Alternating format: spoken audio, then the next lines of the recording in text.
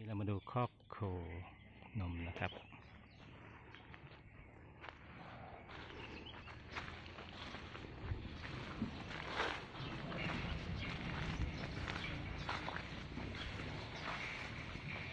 เนี่ยตัวนี้ตัวเทอาหารเฉยนั่นแต่ที่เราทำรางทำเรียบคราวนี้ก็สะดวกในการทำความสะอาดแต่จริงถ้าทำลึกลงไปสัก นิ้วหนึ่งอะ เป็นรางก็จะง่ายเซาะล่องลงไปจะลองลงเป็นรางมากวาดหรือรางน้ำฉีดได้ อืมเอาแบบนี้เดี๋ยวนี้เป็นรางแปดตารางเมตรต่อตัวได้ไหมอันนี้เป็นบวนรุ่นรถนะ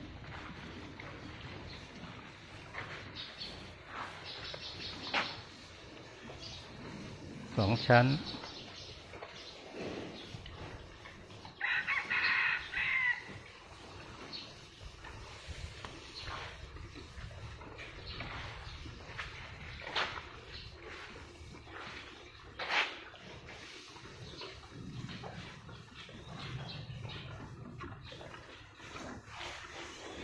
เน้นโปร่งโล่งสบาย ทางเข้าสามารถเอารถไถเข้ามาได้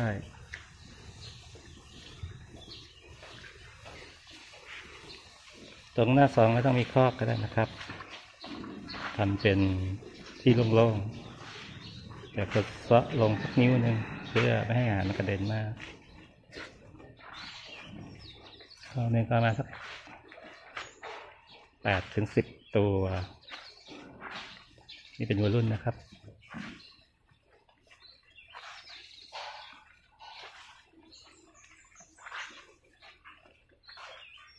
ด้านหลังแล้วก็ทำที่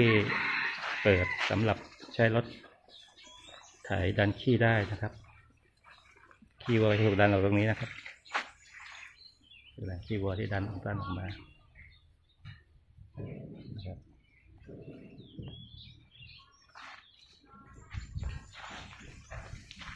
นี่ ใช่เหล็กสองนิ้วครึ่งนะครับหกเมตรนะครับคาดน้ำเงิน อันนี้จะกันสนิมได้ดีสุด อันนี้คือการดันขี้นะครับข้อกลัวให้ดีคือต้องมีการสามารถใช้รถไถมาดันขี้ได้ นี่จะเป็นรถไถดันขี้ออกไปข้างหลังนะครับ เพื่อไปตากแดดแล้วกองแล้วขายเสาก็ใช้เหล็กที่ว่านะครับ แต่ตรงนี้คือใช้ PVC หุ้มแล้วก็เทปูน กัน การ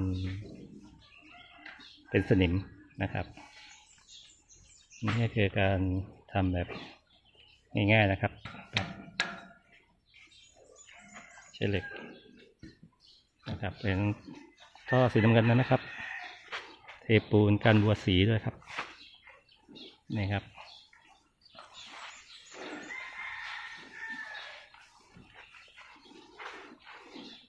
ครอบวัว จะใช้วัวรุ่นหรือวัวนมก็ได้ อันนี้เขาใช้สำหรับวัวรุ่นนะครับครอบละหกตัว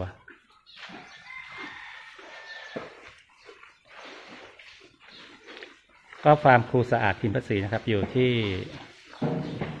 หนองบัวลำพูนะครับสากรนาวังนะครับ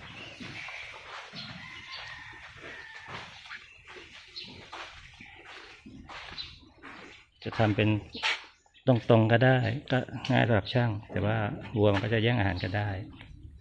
แต่แนะนำคือทำให้ทำอย่างนี้นะครับทำเฉียงอย่างนี้นะครับวัวมันก็จะไม่แย่งอาหารกันมันจะแย่งอาหารกันลำบากนี่ครับนี่ครับเขากวาดใช้รถกวาดขี้ไปไว้ข้างหลังนะครับตากแดด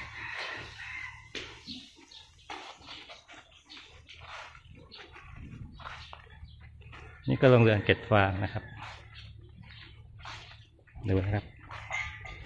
สำหรับท่านที่มีทุนแล้วก็ทำฟาร์มขนาดใหญ่ได้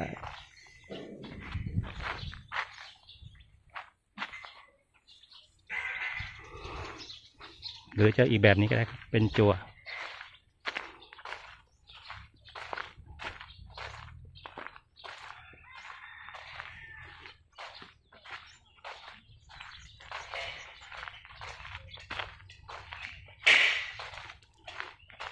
ต้องมีพื้นที่เทปูนให้มันนอนด้วยนะครับ เพราะถ้ามันเป็น พื้นดินอย่างเดียวนะถ้าน้ำมันขังก็จะแฉะบวมก็จะจม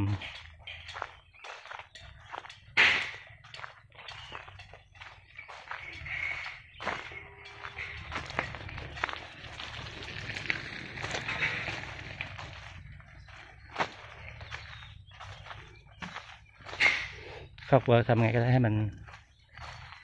แห้ง ไม่ร้อนแล้วก็วัวสามารถนอนเคี้ยวเอื้องได้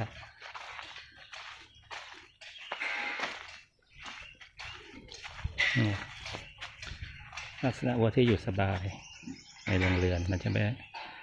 จะไม่นอนกลางแดดนะครับ มันจะมานอนเคี้ยวเอื้องอย่างนี้ คือวัวที่อยู่สบายนะครับ จบคลิปเพียงแค่นี้สำหรับข้อกลัว เบื้องต้น รับฟาร์มเกษตรกรมือใหม่นะครับ